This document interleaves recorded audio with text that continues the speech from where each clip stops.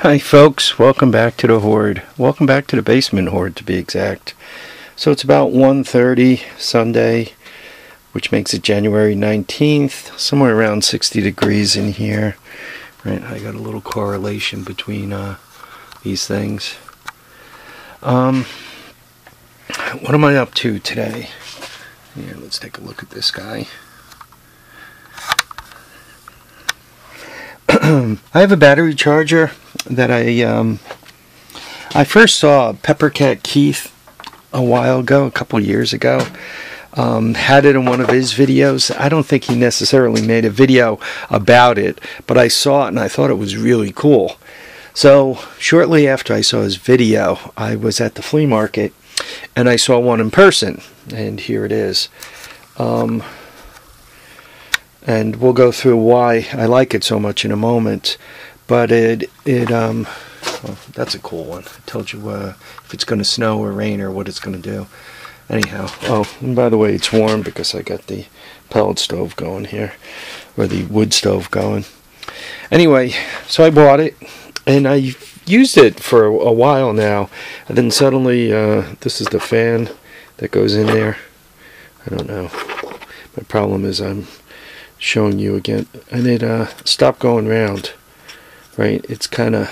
I mean, I got to push it pretty hard to get it to go around. So, being a eBay lunatic, I looked it up on eBay and I found that I can get a replacement fan that's similar but not exactly the same thing. So I bought the fan and there it is. The problem with the new fan is it's bigger and I couldn't quite I don't want to tear any of the wires loose. I couldn't quite get it into the box. If you look at the mounts, you can kind of see the uh, four mounts there. And you can see that the fan's bigger. This fan, if you, you see those holes, those divots right there. Well, those kind of went right on those standoffs, right? Right, I'm trying to do this like the one-handed man, right? There are four standoffs. And the way the fans are set up, I didn't want the uh, blades, see because this has nice standoffs, the blade stays away from obviously hitting the standoffs because it's sitting on them and so forth. So what I did was I took a piece of wire and I wrapped it from here across the face of the fan, diagonally out, screwed it on. Um, I was able to use this bolt hole right here. So between the wire being bolted through there and that bolt working, I did get the fan on to the thing and it does blow. And this location is kind of important. You could say, oh well, just put it anywhere. Because these are the diodes. So what it does is it blows air across, the diodes are on the other side, but it blows air across this heat sink to keep everything cool, right? One doesn't want to melt this thing down. So as I turn it to put it on, oops, right, you can see it's located over there, which would blow air across the heatsink here.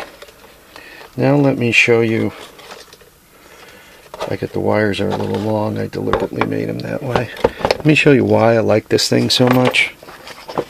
I already have it hooked to a battery over there, but just plug it in. Excuse the really lousy camera work.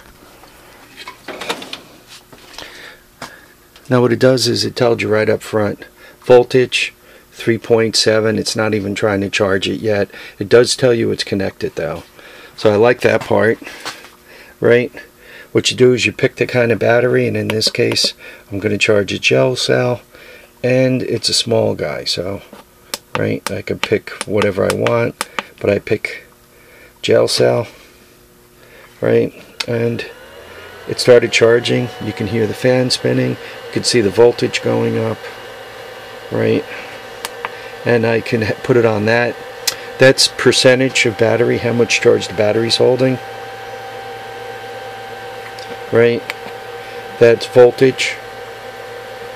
And the lower thing, um, if you're, you're hooked to something with an alternator in it, it'll tell you if it's charging or not by if it's uh, like at 13 volts it would say to itself. If it's already at 13 volts it's not trying to charge up there it would um, it would tell you the percentage of alternator how good your alternator is.